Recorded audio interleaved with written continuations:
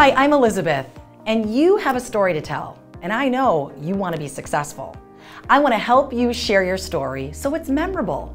I can help you make connections with your audience and build lasting relationships that will give you more opportunities. But to get your audience to believe you and like you, you need charisma. And charisma can be taught. I'd love to show you how. Whether you're having a one on one meeting with a client or you're a leader that has to deliver a difficult message to your team, I'll help you with your delivery and I'll teach you how to make a great first impression. I'm in the storytelling business with over 20 years of experience as an award winning radio show host. I've learned how to build trust and a strong relationship with my audience. And there's no better feeling than when someone is truly engaged and hanging on to your every word.